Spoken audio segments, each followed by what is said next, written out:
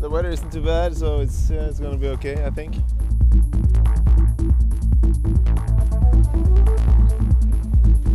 Ah, the challenge for us is that we're not good kayakers.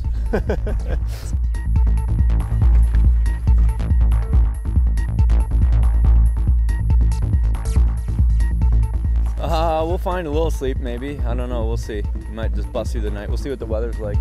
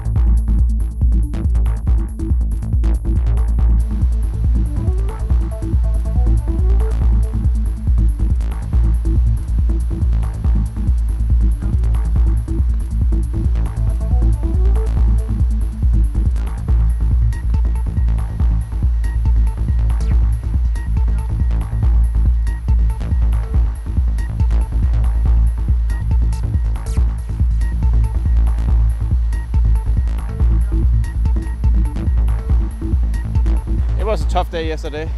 I think we went over like five or six summits, so it was really hard for the legs. Uh, we slept two hours after the, uh, the trek. We think that's good.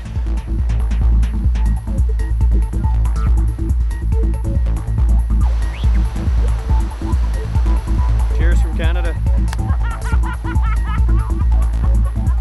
One of the most beautiful courses that I've ever raced on. I think it's been